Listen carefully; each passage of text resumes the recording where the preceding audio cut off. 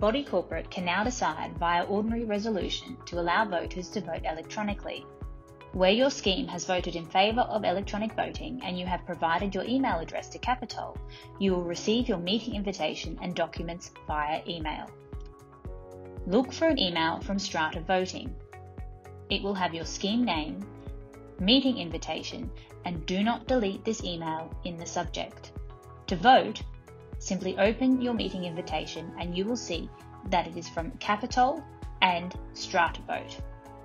It will have the details of your meeting, when it is, where it is, and when pre-voting is available until.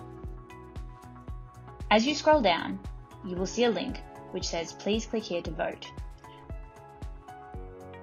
Once you have clicked on this link, you will have an electronic voting paper appear on your screen. You do not have to log in. It is a personalised link that will take you to your voting paper.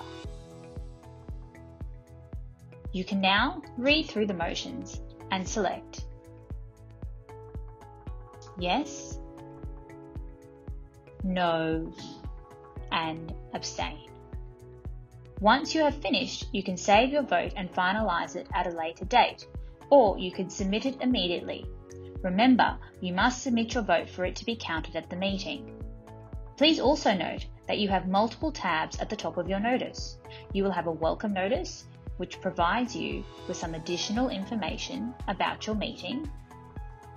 You have your agenda for the meeting, any relevant attachments.